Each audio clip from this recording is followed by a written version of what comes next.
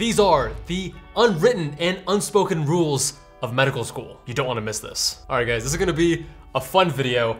On my personal Instagram, which you should definitely follow if you aren't already, I asked you guys for what you thought those rules were, the unwritten and unspoken rules of med school.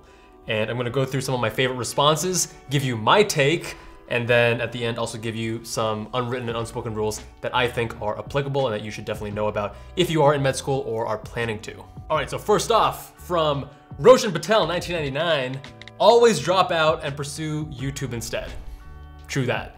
Raj Chua says, always bring a cheap pen you are willing to lose because attendings or residents will never return it. Yes, I would say the Pilot G2 .38 pens, which I've discussed before on this channel, these are the favorite pens by most people in the hospital because they have a very fine tip, so you can write small and fast because you need to write really quickly, usually when you're in the hospital. And they're reliable, they, they write decently well, they're cheap, easily replaceable. So I had a lot of black ones and blue ones. If you wanna find those specific pens, I'll have a link down in the description. But yes, you're gonna lose a lot of pens in med school. It's just, it happens. Opposite Fight Club rules. First rule of med school, tell everyone about med school. That's pretty funny. I guess there's a few ways to interpret this.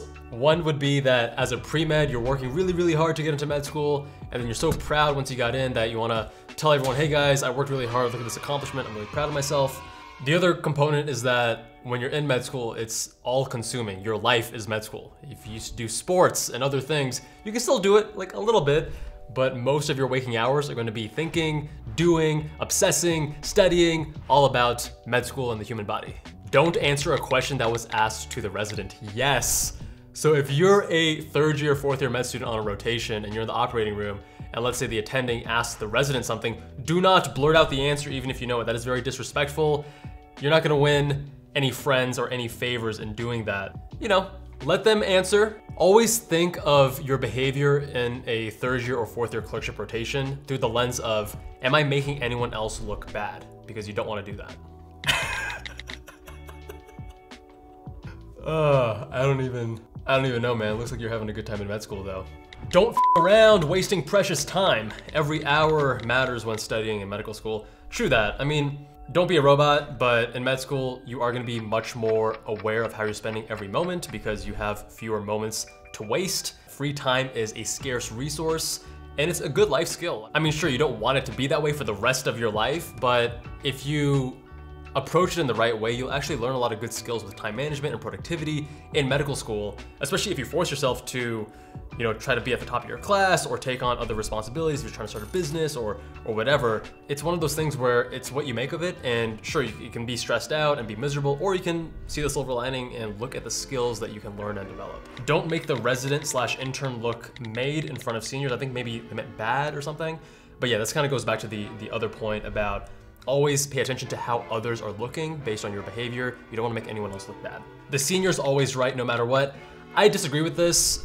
There are gonna be certain institutions that are a little bit more old school and traditional where the hierarchy is more important. You have to say sir and ma'am to everyone who's above you, which I was doing at the beginning of med school, and it kind of depends on, on where you're at. So at the Navy Balboa, yes, I'm gonna be saying yes sir, no sir, and ma'am, and all that stuff. But at a lot of institutions on the West Coast where things are more casual and people aren't dressed up and super proper, then a lot of times they'd be like, are you military? Like, why are you calling me sir? Why are you calling me ma'am? This is weird. But at most places, no, I, I would not say the seniors are always right. There was this really cool story from, was it Outliers by Malcolm Gladwell? One of the books I read where they were talking about how in certain airlines, I think it was like a Korean airline, the co-pilot was not to question the pilot, and that actually resulted in a in a strange dynamic where if things were dangerous, the co-pilot didn't feel comfortable raising their concerns to the pilot, and then you got accidents, crashes, and bad things. So similar lessons have been learned in medicine and in medicine, like in timeout or in the operating room, there's very much an emphasis on actually speaking out if you think there is something that's not safe, even if you are the lowly med student or you're not the most senior person in the room. Eat when you can, sleep when you can, don't mess with the pancreas. True words. So I think that came from House of God and it refers to your surgery rotation. Don't get a girlfriend during medical school. Seriously, don't. I disagree with this. I think everyone is different, and depending on where your own personal development and your readiness for a relationship is, being in a relationship may actually be useful. And I know for me, I got in a relationship the end of my first year. It was definitely a very large net positive during my med school experience, for sure, absolutely. And I talk a little bit about dating in med school and, and those lessons that I've learned in my dating playlist. Learn to read the room and understand when it's appropriate to ask questions. Absolutely. In the classroom, this isn't as important because it's a classroom, you ask questions. There are moments in the hospital where you should not be asking questions. If you're in the operating room and things are really tense and it's like hitting the fan moment, then no, you should not be asking questions. Let, let the people handle the situation and just try to be helpful. And if, you know, a, an attending is talking to the patient and it's like a, a deep, heavy, you know, conversation, which sometimes happens, talking about outcomes, talking about bad news, then yeah, it's not the time to pipe in with your need to learn. You can do that after the conversation. And this is more just like general social skills more than anything else. First rule about Fight Club is to not talk about Fight Club. That's interesting that that's the complete opposite of the, uh, the first one that we went over. Hierarchy unfortunately trumps patient care, so up unless you're the attending. I disagree with that, as I spoke about previously about um, the seniors always being right. Success is despite admin, not because of admin. So this is pretty funny. With any field, the administration and kind of the um, the bureaucratic stuff tends to be a detriment for the most part, at least for the people in it. It feels that way. I don't think that's necessarily unique to medicine or medical school. I think it's it probably applies to most fields, actually. Asking others uninvitedly what percent they get on exams and quizzes, etc. Don't do this. Who cares, man? Just stay in your lane, work hard, try to improve from how you performed in the last test, improve your study strategies, experiment, do all that stuff. But how other people are doing, like, who cares? You know what the class average is, you know what the max is, you know what the min is, or what the, the fail or the pass line is rather. So just try to do well yourself. Looking out for one another. I like this. This is wholesome. I think a lot of schools that are pass fail, including my school, which was pass fail the preclinical years, and then the clinical years it's graded. I think um, it's more conducive when you have a pass fail curriculum to be more collaborative and not to worry about like, oh, is that person gonna do better than me on the cardio block exam and then that's gonna ruin my chances for getting AOA or whatever. Actually, my school didn't even have AOA. So yeah, look out for one another. It's gonna bring you together. It's gonna just be a better atmosphere and you definitely want that when you're working really hard in med school. To never use technology in front of high and senior professors slash doctors.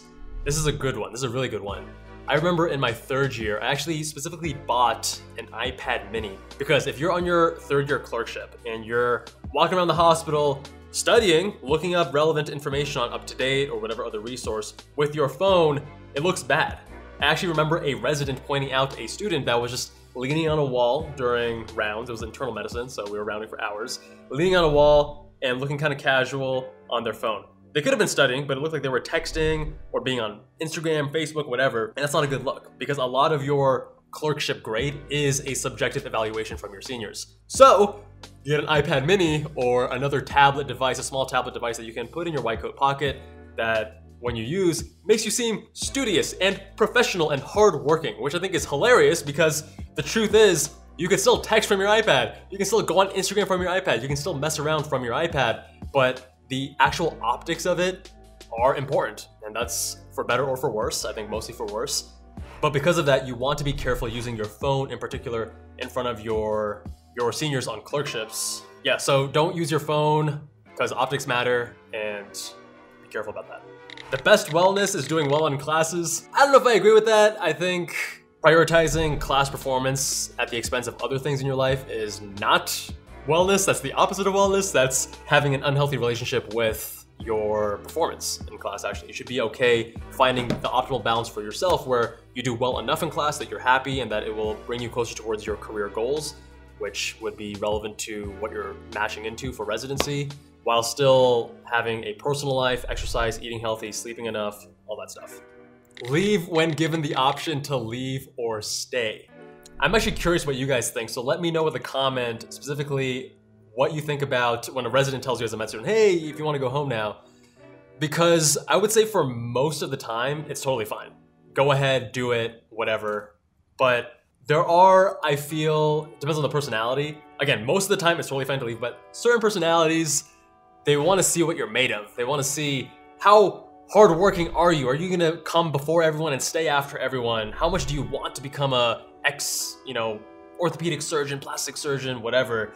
And it is a little bit of these mind games, which is so silly. Let's be real, it's so silly. But you're gonna have to feel it out. I'll probably actually receive some some hate for saying this because most people are like, oh, you should just totally leave. It's silly that, you know, the residents and attendees, they don't care. I mean, from my experience in residency and stuff, and, and even as a med student and just observing these things, I would say usually people don't care, but certain specialties and certain characters are gonna care more about it and they, they are willing to play these mind games. All right, so a few that I wanna add, these are just the first things that are coming to mind. One thing is when you're on your clerkship rotations, they have call rooms, and at some institutions, at some hospitals, the call rooms will have a lock on it, and at other places they won't. At my hospital, what we did is we took one of those really small square towels, and then you hang it on the handle outside the door so that people know that it's occupied, someone else is using it. Because the last thing you want when you're in the middle of a call night and trying to get a couple hours of sleep is to be woken up by someone else walking in and turning on the lights. Another one I'm gonna say is because med school classes are so small, they're usually like 80, 100, 150, maybe 200, some are more, but um, tends to be very small classes. It's not uncommon for there to be more gossip than what you're used to in college, because usually college campuses are much larger and you get lost in all that. But because everyone knows everyone, everyone just starts talking about other people's business. It's almost like high school gossip in a way, which, yeah, it, that's not a pleasant thing. Stay out of it. You don't want to get caught up in the drama and the he said, she said, whatever. Try to stay in your lane. Try not to cause any commotion. Don't stir up nonsense. Just do your work, get along with people, don't gossip. It'll just make your life way more complicated. Another one is on rotations. Don't bring down other students. Don't bring down other people. It just makes you look bad. People can see it a mile away. I know when I first started my third year clerkships, I was on internal medicine. The student I was rotating with, she'd be like reading up on my patient so that when the attending asked me, like she would like blurt out the answer. That doesn't make you look good. It makes, like, it just causes tension. It makes you look like you're playing these games. Don't do that. No one likes that. Oh, another one. How could I forget this? Definitely subscribe and like all of the videos on the Med School Insiders and Kevin Jubbal YouTube channels because that stuff is gold. Hashtag unbiased. Another one would be to avoid talking about finances. In med school, you're gonna have most classmates who are taking out substantial amounts of loans, and you're gonna have a small proportion, although at my school it was actually a substantial number, who don't have to take out any loans, and that's usually because their parents are helping pay the bills. So if you're a student that needs to take out loans and your friend shares, hey, I didn't take out any loans, my parents helped me, then that student may feel a little bit resentful. But on the other hand, that student that doesn't have to take out any loans may feel almost guilty that, oh, hey, my friend here needs to take out loans and I got it easy. And, you know, it can just kind of change the dynamic, cause a little bit of resentment, people making underhand comments. I think it's usually best to just avoid talking finances, at least like specific numbers as they relate to yourself. I think talking about financial principles, sound financial behaviors like living within your means and not spending extravagantly. Because a lot of people at med school, they'll actually justify silly financial decisions like buying some crazy expensive gadget, like, ah, this is just a drop in the bucket. This $3,000 gaming PC, ah, doesn't matter. It, it doesn't matter, especially when you add the interest that's gonna be accruing for the next several years until you pay off that loan. For the most part, avoid talking specifics. It's just gonna, it's just gonna complicate your life. This is one that I don't think is universal, but I think is very helpful. When you're in the hospital, be productive as often as you can because when you're in the hospital, when you're in the operating room, when you're in the clinic, you're not going to be able to relax, unwind, rejuvenate, feel great, and therefore it's better to use that time productively. When I had downtime in the clinic or wherever, I'd be doing my flashcards or I'd be studying. Or if I really was feeling fried, you know, mentally, then I would pick up a suturing kit or tie some knots on my scrub, the loop for like, you know, tying, tying it around your waist. And I would just try to be productive in every moment so that when I went home, I could minimize the number of hours I had to spend practicing my suturing or studying, and I could just do a little bit of studying, eat some food, get a workout in, and go to sleep. I'm trying to think if there's anything else. I'm sure there is. I'm sure like five more will come to me as soon as I stop recording this video. But if you guys have any that you think I missed, please do leave a comment down below. I love hearing from you guys. And if you enjoyed this video, then check out my dating playlist or this video here. Much love, and I'll see you guys there.